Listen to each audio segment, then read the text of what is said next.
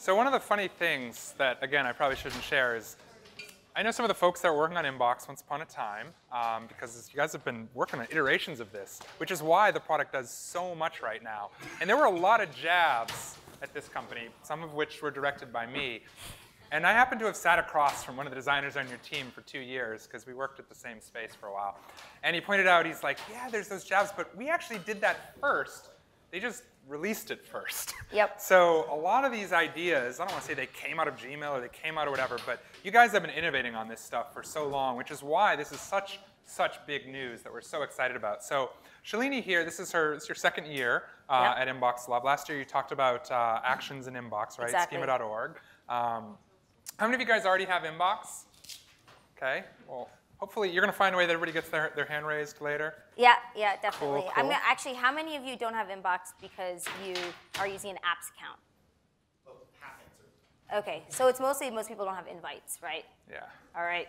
Well, we're going to Well, make them feel special. Yes, we'll, we'll try and do something about that. Cool. Well, So- I don't need to say anymore. We're really excited to hear from you. Thank you so much, Shalini. Awesome. Thanks, Jared. So I'm really happy to be here, as Jared said, for the second year in a row. Um, and uh, I'm Shalini. I'm a product manager on Gmail and Inbox.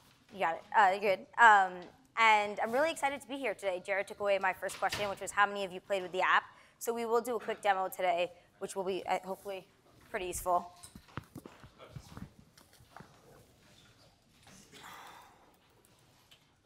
There we go. So, you know, I've been on the Gmail team for the last three years, and over the course of time, just like many of you, I've gotten to know how users use their email and the problems they have. And Inbox has been a two-year effort to draw, try and address some of those problems. And as you'll see shortly, it's quite different than Gmail. And for us, that's actually the point, because the world is different. So today, I want to spend the next 20 minutes talking about three things. First, why we built Inbox and why we felt that we had to start from scratch. Second, what Inbox is, what it does, the five key features. And third, really, it's you guys, right? You know, Inbox is very different, and we want to make sure that developers and marketers understand it, get the most out of it, and we start a conversation on how to work together. So uh, the first is why. Uh, when we when we started this two-year journey, sorry, I apologize because it's been a very busy week, so I'm going to look at my notes just to make sure. But uh, given that we're at an email conference, everyone's kind of biased here, right? Everyone likes email. Everyone thinks email is great.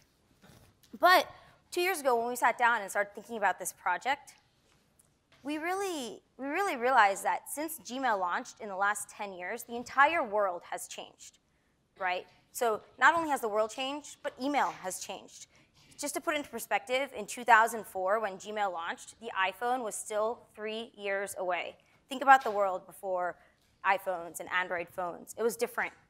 And so, you know, today you still get email from your friends and family, but you also get email for pretty much everything that you do. If you took a ride to the conference today and paid for it via an app, then you probably have an email receipt for that ride in your inbox. So there's a lot of email happening across the world, world, and people are trying to manage their lives through this inbox, but it's hard.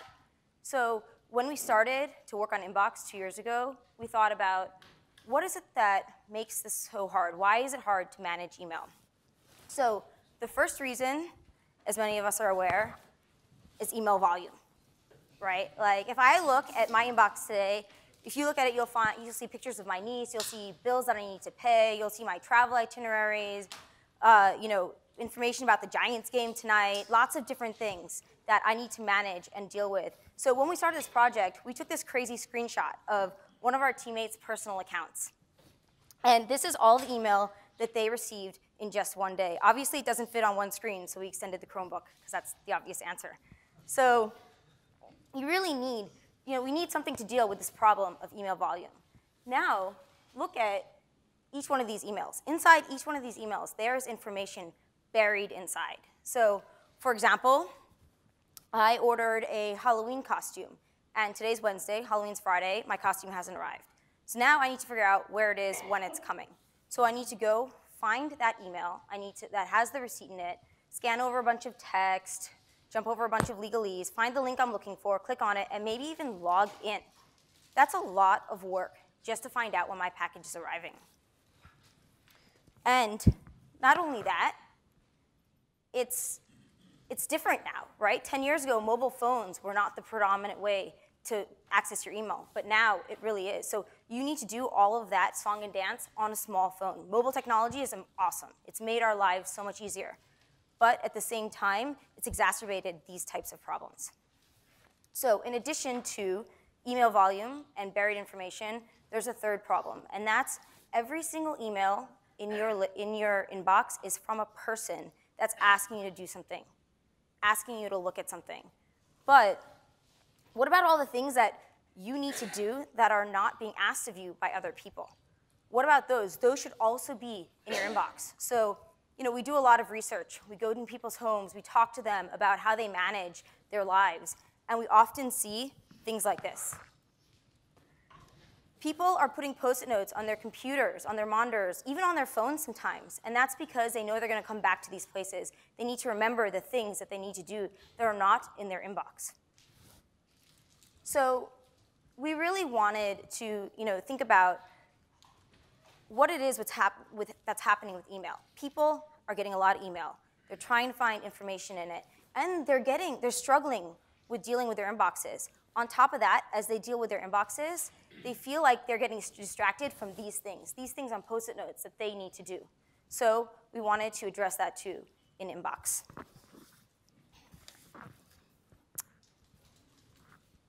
So with these problems in mind, volume, buried information, and to-dos on post-it notes, we really thought that we had to make more of a fundamental change when we started Inbox. We wanted to start from scratch. We wanted to build something new that really addressed the problems of today's world, not you know today's world and the next 10 years, not just the problems that existed in 2004 when Gmail first launched.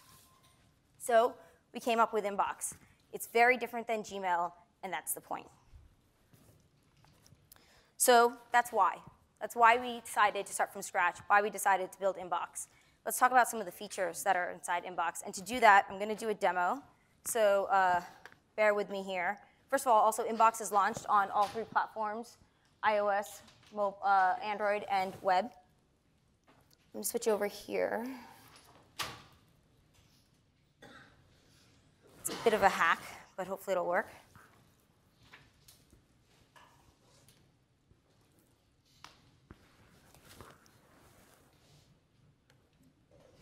All right. Can everyone see? All right, so the first, the first thing that you'll notice about Inbox is that it's no longer just a wall of text. There's a bunch of photos here. As you scroll down, there's bundles, there's you know, this article that someone sent me about Stephen Colbert, there's my flight information, there's my purchase information. All of this stuff is right here at the top of my inbox, available on my phone, visible at a glance. I can tap into photos and scroll through them without even opening the email if I want.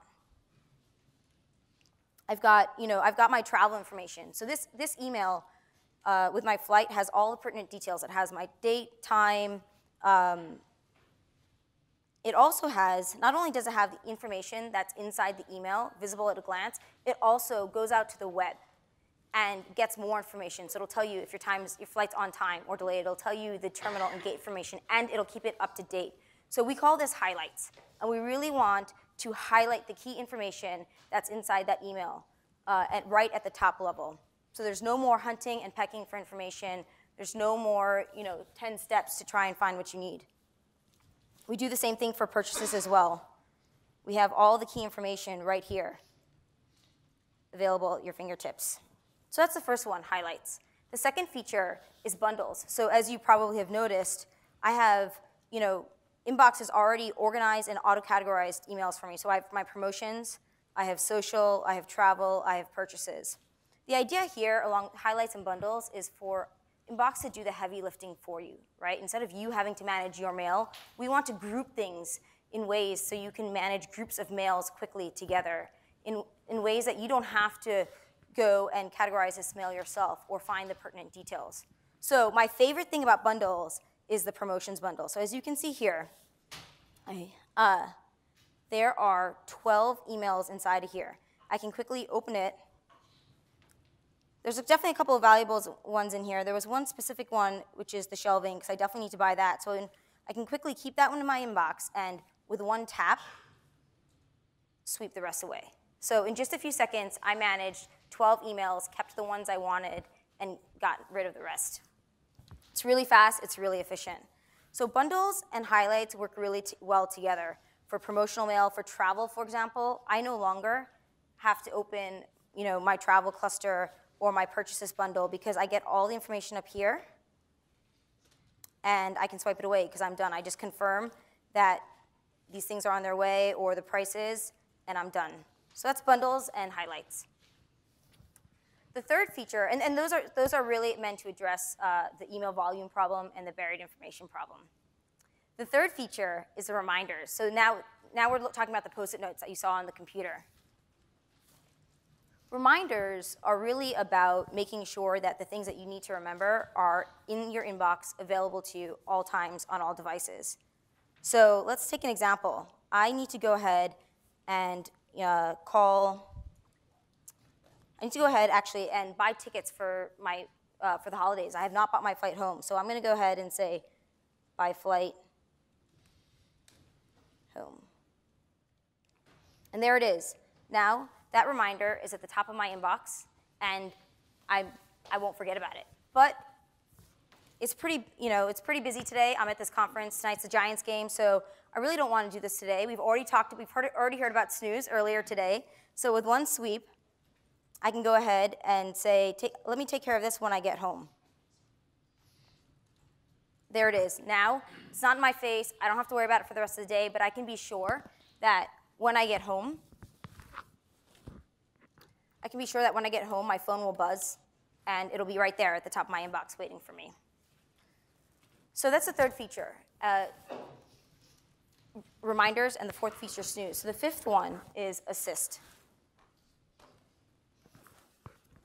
If I want to add one more reminder, which is to call Comcast. So, you know, I have, I'm having some trouble with my internet. I want to call Comcast. What's really cool is you'll notice that as I was typing, Inbox is giving me autocompletes along the way, which means that it helps me to capture these reminders much more quickly. And if I select Comcast, it'll actually give me all sorts of information. It'll give me a quick button to tap and call them. It'll give me their phone number in case I need that, and it'll also tell me if it's open or closed or what time, if it's closed, what time it'll be open.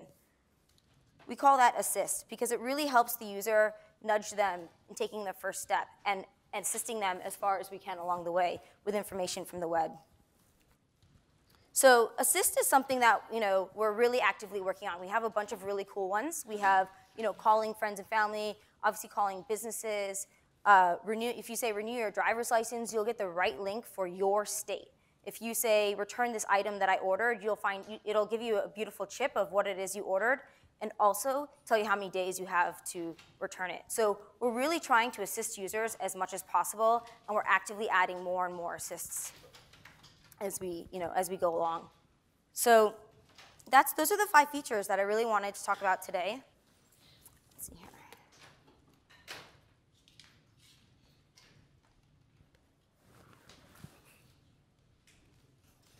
Those are the five features that I really want to talk about today. And we're really excited about, you know, about the feature. As you can see, this is very different than Gmail. Gmail, and it's solving a different problem. It's solving the problem of email overload, of buried information, and of post-it notes um, as your to-dos. So we're really excited about the feature, and Inbox is different. It's about doing the heavy lifting for you.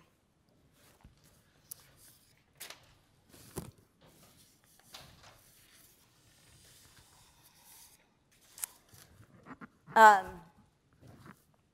now it's the third. Now time for the third uh, one, which is probably the one you've been wondering, is the developer platform. So